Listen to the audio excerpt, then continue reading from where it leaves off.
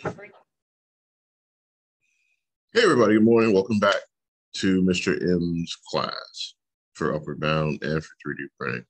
And today I wanted to talk about this conception. Um, and before I show you the reality, I want to talk about the misconceptions. Hey, Mr. Montague, I got on Tinkercad, I got on some design software, and I hit the print button, nothing happened. Or I bought a 3D printer and it doesn't print. The thing with 3D printing is that unless you have a direct interface from your design software to your printer, you have to do a conversion process. And it's perfectly okay to misunderstand this. It's like when, you know, kids your age have to help their parents with their phones or with the TV or the cable box. I'm 42 and I still have to help out people older than me with technology. It's okay. Don't get offended. We'll be all right. So what I'm going to do right now is that I'm going to go ahead and uh, get this party rolling with Tinkercad. And I'm going to explain Tinkercad a different way, as well as get everybody up to par on what we're going to be doing. So first off, let me share my screen. And I'm going to start off with my test house. Test house is running on the machine right now off to my left, and I wanted to show you guys the Tinkercad interface when you go back. Notice it says tinker this and download. There is nowhere to hit a print button anywhere. So I want to hit tinker. You can share it to classroom and we can turn it in. And that's how we're going to turn work going forward. So there's my design. As you look at the Tinkercad menu, keep in mind that Tinkercad is a web-based program, meaning that it's designed to sit on the internet, stay on the internet, not get downloaded to your computer. When you are getting ready to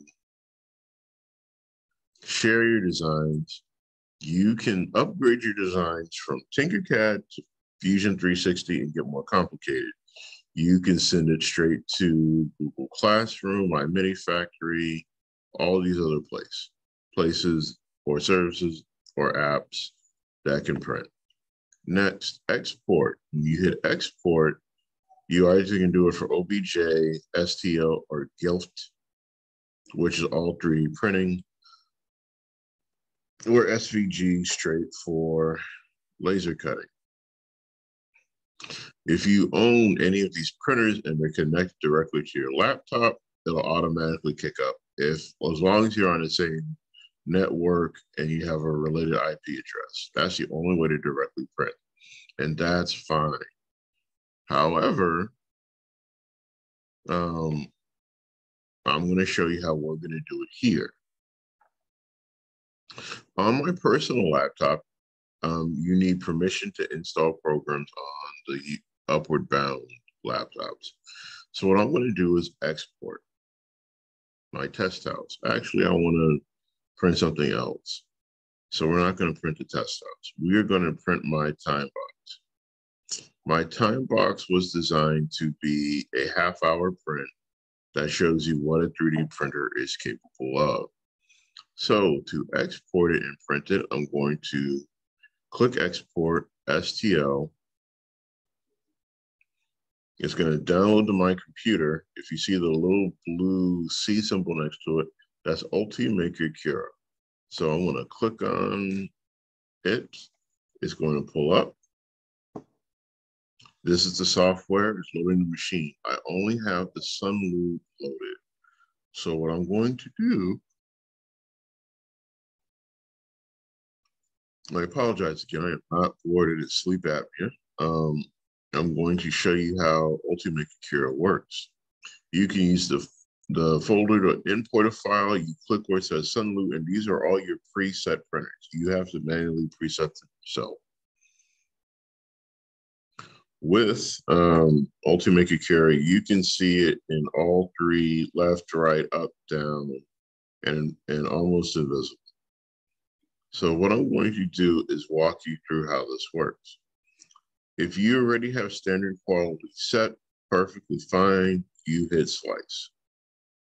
After you hit slice, you save the disk. If you have a printer that's connected through Octoprint or any of the other services, you can directly print. Our office manager, the, the ones we have downstairs. So going back to sharing my screen really quick, um, I had a minor interruption for business purposes. So again, Ultimaker Cura is free. You go to ultimaker.com. You don't have to sign up or buy their $38,000 Super 3D printer. It's not necessary. All you want is their free, their free slicing software. There are multiple slicer programs on the on the market. Prusa makes a great slicer. I'm sticking with Ultimaker Cura because it hasn't steered me wrong. And there's multiple things that you can do to make your life easier, Ultimaker Cura. Um, for example, as we get into more advanced features later on, I'll be posting videos to this YouTube um, playlist. That way you can watch from other things. Every company makes their own filament, and some filaments work better or work worse with whatever printer you're using. Always look for your manufacturer recommended filaments. I know I'm jumping around, but again, I want to go back to Ultimaker. And what I've done is that I've switched my design interface to select the Ultimate, I mean, the MakerBot replicator that's available at the UNO library. So what you're noticing is that the bed itself is only 20 by 20 by 20. This is a tiny 3D print bed. It's not the exact size, but it doesn't have a lot of space. My design is only 20 by 20 by 20, but the bed itself is small. One of the things that people do is that they over um, design things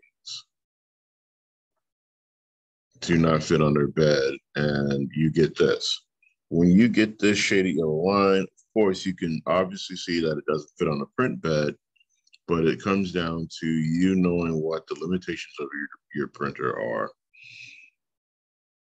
When you get to larger scale designs, it will become a process of breaking your design up into multiple pieces. And that's something you handle in Tinkercad or the design software. Your slicer, only job it does is translating your design to G code, which all 3D printers use. So again, this is just an explanation video real quick to make your life easier. So thank you for watching. Talk to you soon.